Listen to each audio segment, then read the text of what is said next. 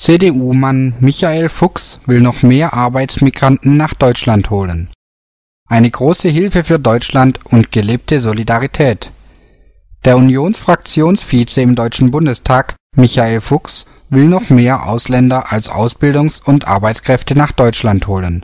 Das sagte der CDU-Politiker in dieser Woche in einem Interview mit Welt Online.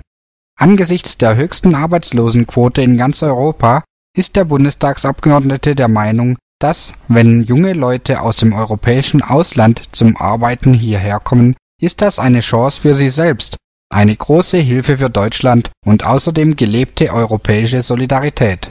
Ein Schutz des deutschen Arbeitsmarktes halte er für unnütz.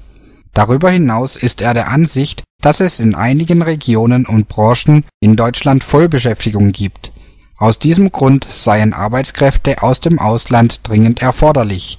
Welche Regionen und welche Branchen der CDU-Mann dabei meint, ließ er im Interview offen. Demgegenüber betonte er, es ist im Sinne der Menschen, wenn sie Arbeit finden und wenn sie die bei uns finden, dann ist das zu begrüßen.